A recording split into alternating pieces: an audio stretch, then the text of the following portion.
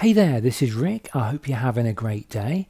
In this video, I'm going to try to turn this point and shoot snappy camera into a night vision infrared camera.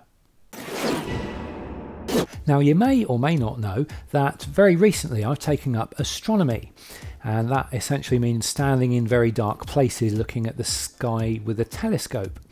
Now I would really like to make videos, you know, video logs and things while I'm doing that, but unfortunately I don't have a camera that films in the dark. Now I've been looking into my options and it turns out that you can turn or convert a little snappy camera, uh, pretty much any kind of camera of this sort of configuration, uh, into an infrared viewing camera.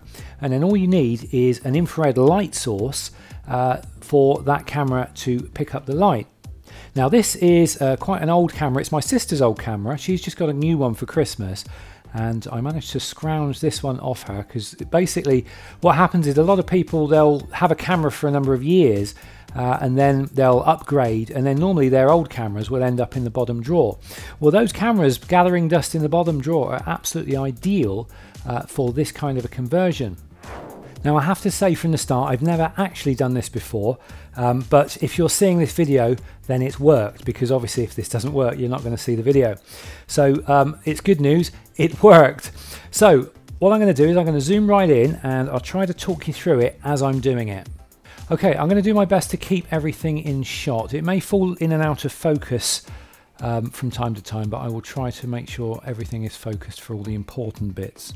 So the first thing we need to do is take out the battery.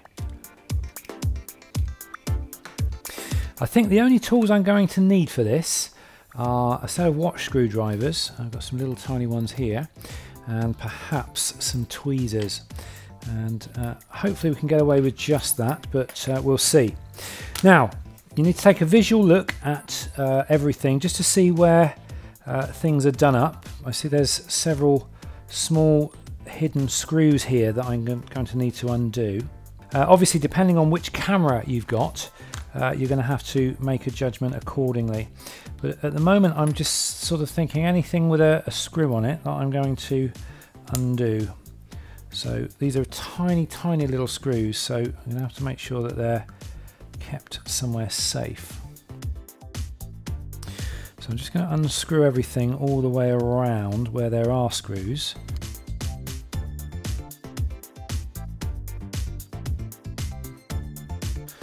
Okay, so I've basically gone around the edge and I've just taken out any of the small screws that uh, are visible. So now I'm just going to attempt to see whether the back will come off. Okay, alright, so that's the back plate that's just come off. Right, now I've got to look into getting this uh, screen off. Okay, it looks like this outer bevel wants to come off as well. There's a couple of screws that are holding the screen in place. So I'll undo those. I can see a little ribbon cable there. Uh, hopefully you can see that. There's a little rib ribbon cable from the screen plugged in there. That's going to have to come out. So I'm just going to grab the ribbon and pull up. There we go. And that's the that's the ribbon cable out. Now let's see whether this screen will loosen up. It looks like the screen is held in with a screw that's, that's screwed in from that way. So I may need to take the front plate off after all. Let's see if it'll come off without too much of a fuss. Hopefully it'll just pop off. It's only like a plastic cover. Right, there we go. That's the front plate off as well. And ah, this little bevel's coming off now. That's good. So I've got this little little bevel piece come off too. Okay, this screen wants to come up, but it's it's still plugged in. I see a ribbon cable. Ah, here we go. Right, what I've just noticed is this this screen. It has a ribbon cable that runs down here and then along the back, and that's plugged in there. So I think that's going to have to come out. Okay, there's in that little plug that uh, this ribbon cable is plugged into, there's like a little black bar across there. I've already snapped half of it away, um, but you need to lever that out. Uh, I think that's holding the ribbon cable in place. So there we go. That's now out, and then hopefully the ribbon cable is going to come out of its own accord now. There we go.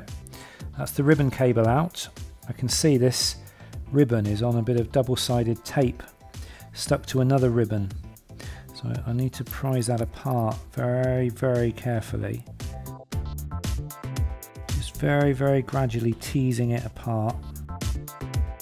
So once I prise that apart, I'm hoping that this back screen is going to come off now.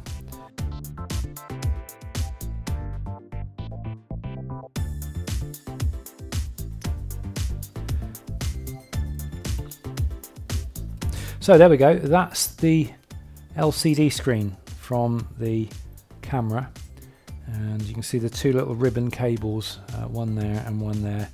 So next up is the sensor. So hopefully you can see that. Uh, I presume this is going to be the sensor and there are a couple of little screws, one, two, three screws holding it into place and they look like they've got a little bit of melted plastic on them or a little bit of black glue or something holding them in place. So I need to get rid of that glue so that they will turn.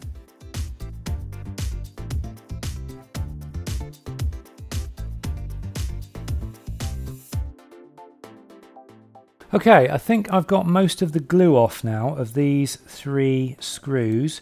Uh, they're a strange looking screw. I'm not sure whether a conventional screwdriver is going to undo them. I shall have a go Uh, it seems to be biting, that's fine. Yeah, I'm just using a really tiny flathead screwdriver and uh, that seems to be doing the job. So there's one off the sensor. Okay, so that's the three screws, the three little screws undone of the main sensor. So now it should hopefully be a case of just popping the sensor up. Uh, it would be nice if it's that simple. I've got a feeling it might not be quite that simple, but we'll have a go. And I'm just going to get the screwdriver in there and just, there we go, lever it up. There's a little guide thing here. Now you've got to be really careful of the sensor because this is the, uh, the business end of the camera. This is the bit that actually creates the image. Right, let's get some tweezers on there. Okay, so there is the sensor. Oops, you don't, don't want to be touching that.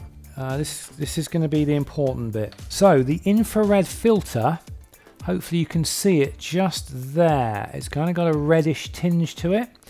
That's what's stopping the infrared hitting the sensor, which is that. So I need to take this infrared filter out. And the way I'm going to do that is there's a, a, like um, and this is this is fairly typical of most of these cameras. There's a little spring there. I'm not quite sure where that's come from. Um, I'm going to have to pick that up. Right, now in some cameras these have like a rubber bevel around the outside. This particular one doesn't seem to. I think it might just pop out. So I'm going to try to just give it a little bit, bit of persuading. Ah, there we go. And it just popped out. You see that?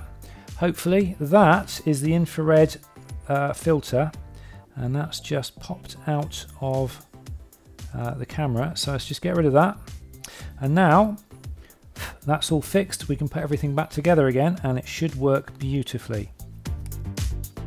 So that's it, the camera is back together again and it all seems to be working quite well. Uh, that is the piece I removed. This is just this tiny little uh, infrared filter that was just in front of the main sensor.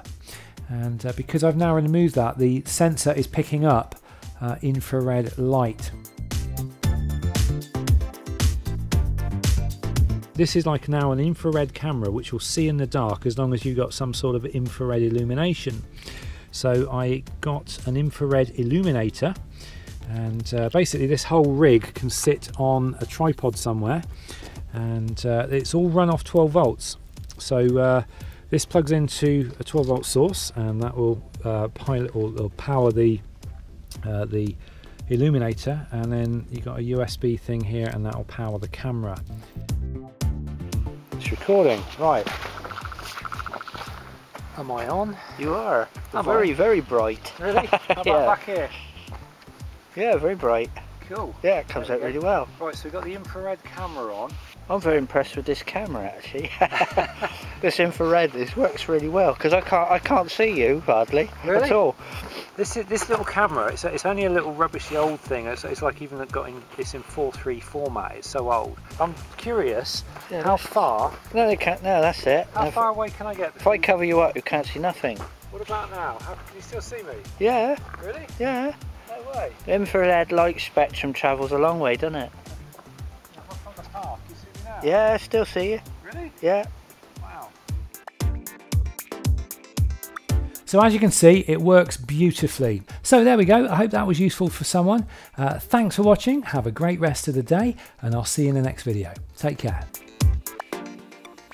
Thanks for watching the video. I hope you enjoyed it. Please remember to thumbs up and you can click here to subscribe to the channel. Here is my latest video and here is a video that you might like. And here is a factoid. Coca-Cola was originally green.